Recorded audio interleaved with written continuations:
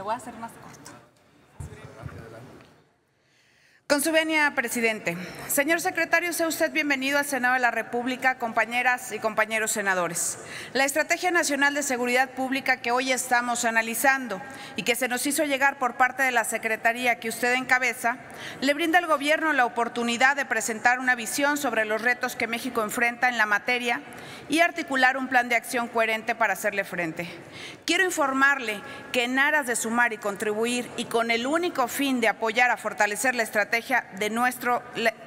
con el único fin de apoyar y fortalecer la estrategia, nuestro grupo parlamentario le hizo llegar varias observaciones, mismas que lamentablemente fueron ignoradas en el adendum.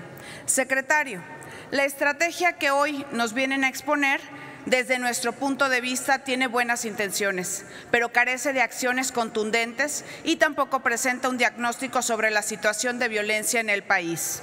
Por ejemplo, en su eje 5 plantea reformular el combate a las drogas, terminando con el modelo actual para cambiarlo por uno en el que se pretende, en primera instancia, mantener bajo control a quien tenga una adicción, y cito textualmente, en Estados Unidos los costos sociales de las adicciones, incluido el alcohol, son enormes. Las necesidades de cambiar de enfoque salta a la vista.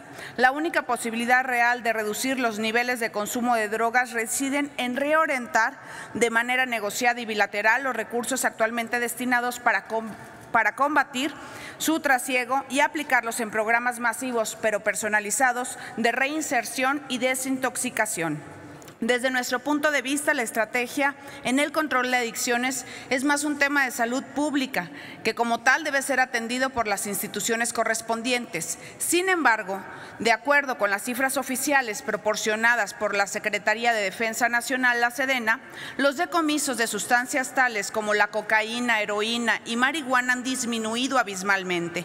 Y esta realidad de la caída en los decomisos sí tiene directamente que ver con la seguridad pública, por lo cual consideramos importante analizar a profundidad los factores que han propiciado dicha disminución. En este sentido, quiero hacerle la siguiente pregunta. ¿A qué se atribuye esta alarmante y significativa disminución en el decomiso de drogas en nuestro país? ¿Cuáles serán las acciones o medidas pertinentes para corregir esta situación?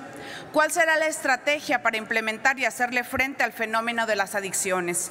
De igual manera, señor secretario, en el primer trimestre de este año hemos visto un incremento en los índices delictivos.